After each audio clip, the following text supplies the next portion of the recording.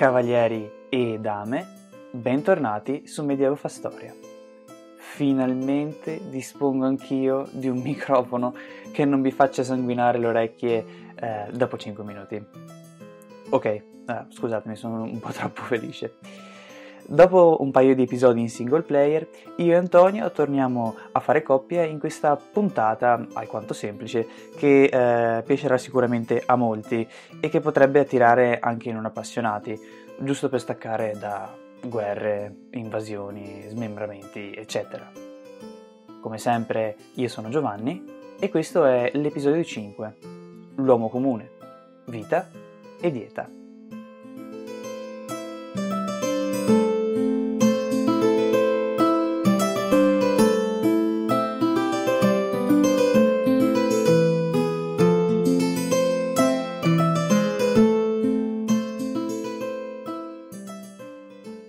Sveglia prima dell'alba, si dà da mangiare alle bestie, si esce nel campo, si rincasa al tramonto, se sei fortunato hai un pasto decente e si va a dormire. Un classico di come si immagina la giornata tipo del paesano medievale. Avete mai pensato che la maggior parte delle cose che si pensano del Medioevo sono frutto di allegorie e romanzi fantasy? Bene, siamo convinti che molti di voi continuano a sfottere il Medioevo per la sua vita triste e monotona. Quindi ci siamo messi all'opera per darvi una visione un po' più ampia rispetto alle due pagine che i libri delle medie vi dedicano. Detto questo, mettiamo come al solito un paio di paletti. Nelle nostre ricerche abbiamo cercato un periodo che possa andare bene, diciamo, a tutti, ok? Uh, ci muoveremo infatti tra l'anno 1000, un po' prima, un po' dopo, che nell'immagine collettivo uh, segna il passaggio tra il basso e l'alto medioevo, tra oscurità e prosperità.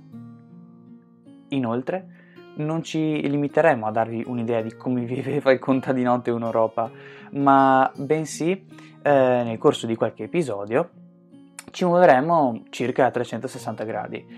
Ci sposteremo infatti verso la Scandinavia, l'Asia, il Medio Oriente e persino l'Africa, spesso sottovalutata. Vi vogliamo infatti mostrare quanto un aspetto così semplice come la vita media di un popolano possa essere diverso, per quanto possibile, in giro per il mondo. Ben inteso, non vi racconteremo cosa faceva Tizio dal mattino fino all'ora di eh, coricarsi, ma ci impegneremo a raccontarvi, senza far politica, di come viveva sulla sua pelle un popolano in questo periodo di cambiamento.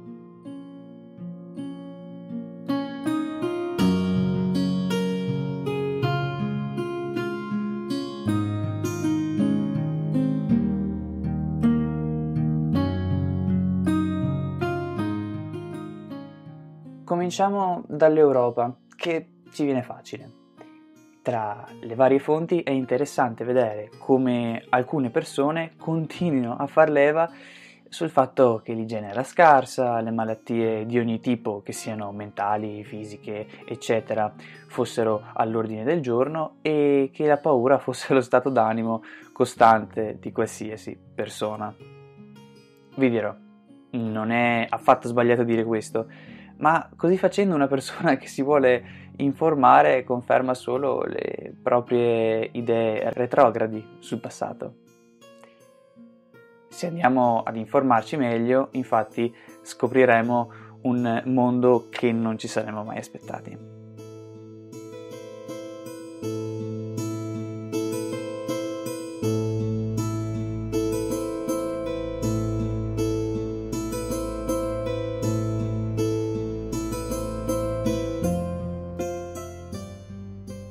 Sappiamo che poco prima dell'anno 1000 si viene a verificare il cosiddetto fenomeno dell'incastellamento, dove i signorotti locali andavano a costruirsi un loro maniero, eh, sfuggendo sempre di più all'autorità imperiale o reale.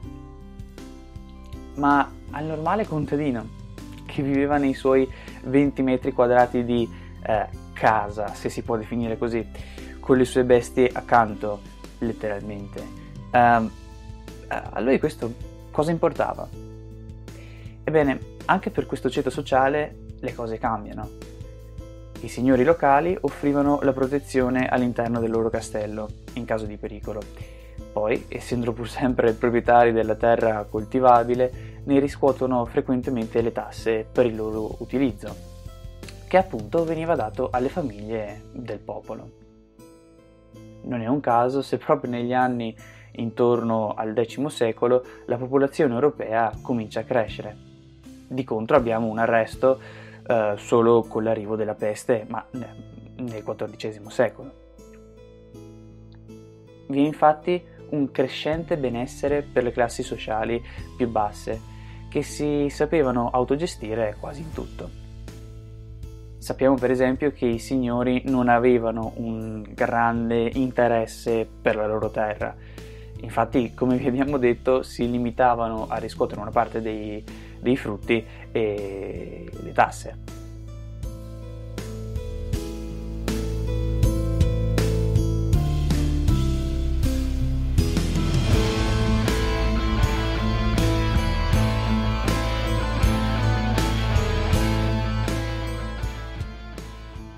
Le famiglie di contadini lavoravano spesso insieme, diversamente da quello che si pensa, infatti questi non si mettevano con la zappa alla mano giorno e notte a sorvegliare i loro campi per proteggerli dalle invasioni da parte del vicinato, ok? Ma bensì ogni zolla era delimitata, magari con dei ceppi confinanti che si possono vedere ancora oggi, e in un possibile periodo di magra si cercava di aiutare anche il prossimo. Tra parentesi, ricordatevi che non erano più gentili di noi, erano semplicemente dei buoni cristiani. Bisogna sottolineare il fatto che proprio in questi anni vengono introdotte delle vere e proprie rivoluzioni in campo agricolo. Due prima di tutto. Viene creata la rotazione triennale, che consente alla Terra di rigenerarsi e respirare, quindi renderà di più, e l'aratro pesante, un enorme passo avanti, se considerate che la maggior parte dei contadini al tempo possedeva attrezzi in legno, i quali si usuravano facilmente. Diciamo, provate voi a zappare la terra con una zappa appunto in legno. Mm.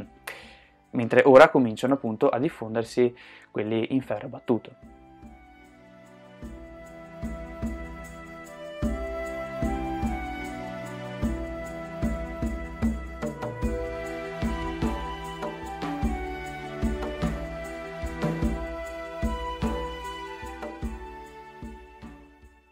Con tutto questo benessere, sì, lo so, per noi il benessere è ben altro, ma bisogna pensare con una mente del tempo, eh?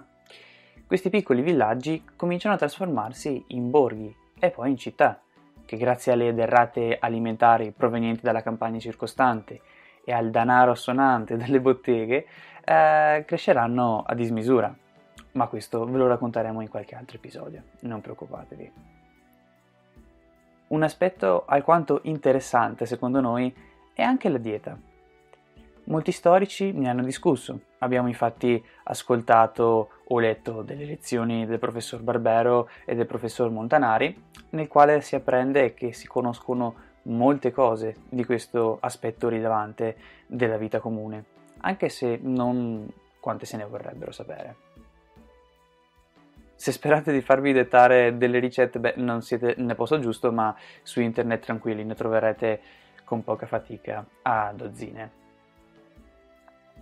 Parlando prettamente di alimenti, sappiamo per certo che in quel periodo la povera gente eh, si nutriva principalmente con i prodotti che riusciva a procurarsi senza un acquisto sostanzialmente.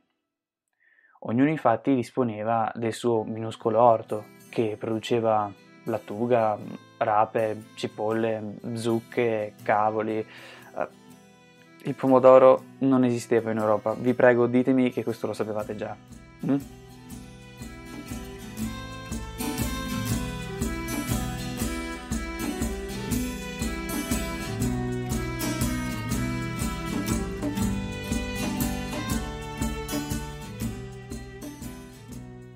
Vi erano poi le terre date in concessione dal signore del paese, le quali venivano utilizzate per produrre cereali. Il pane, considerate, era la parte fondamentale dell'alimentazione e lo rimarrà per moltissimo tempo. O per pascolare gli animali a disposizione, o meglio dire i pochi animali a disposizione. Solo nel prossimo futuro si comincerà ad assumere formaggio, poiché il latte, pensate, veniva considerato un alimento per bambini e barbari. LOL. La carne non è praticamente da menzionare, poiché um, chi pensate che avesse i soldi per mangiarla? Ovviamente i più ricchi. Mentre il pesce era abbastanza presente nella dieta di chiunque, poiché lo si trovava nei fiumi, molto di più che adesso, e nel mare.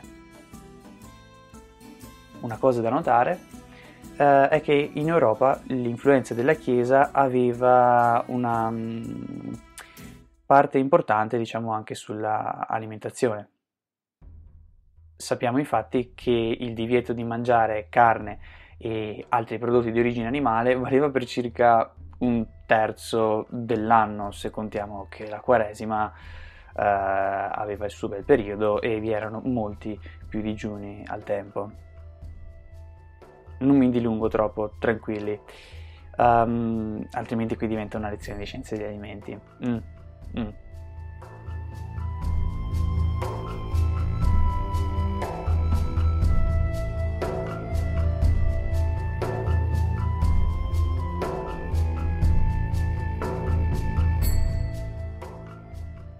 Come ultimo appunto ci tengo a sottolineare quali erano le abitudini igieniche del tempo in Europa.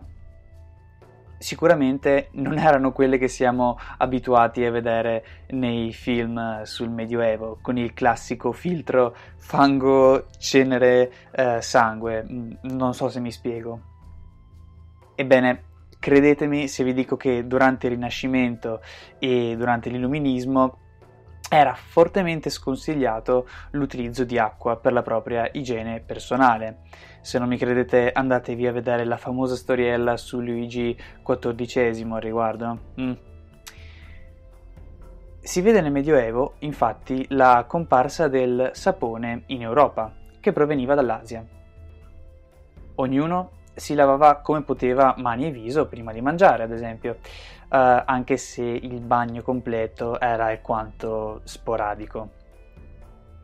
Nei luoghi dove era possibile si cercava di ridar vita agli antichi bagni romani, i quali erano entrati in disuso dopo la caduta del glorioso impero, anche grazie alla Chiesa che li considerava alla pari dei bordelli. Di contro, però, non esistevano più le reti fognarie e i liquami e qualsiasi altra schifezza girava per le strade, prive spesso di un canale di scolo. Se guardiamo invece i piccoli privilegi della Chiesa, possiamo notare come in alcune regole monastiche vi sia l'obbligo di lavarsi ogni giorno o alla fontana comune o addirittura in stanze apposite. Ora tocca ad Antonio che vi andrà a parlare dello stesso argomento, ma ci spostiamo verso lande congelate e fiordi norvegesi.